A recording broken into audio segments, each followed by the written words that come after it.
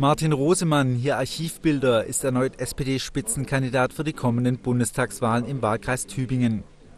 Der Bundestagsabgeordnete wurde am Samstag mit mehr als 97 Prozent der Stimmen auf einer Nominierungskonferenz in der Ofterdinger Burghofhalle gewählt.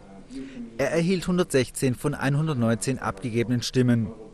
Der promovierte Volkswirt sitzt bereits seit 2013 im Deutschen Bundestag.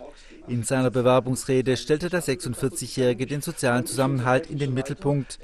Maßstab der SPD müsse sein, Politik für jene zu machen, die nur ihren Kopf und ihre Hände hätten, um ihr Geld zu verdienen.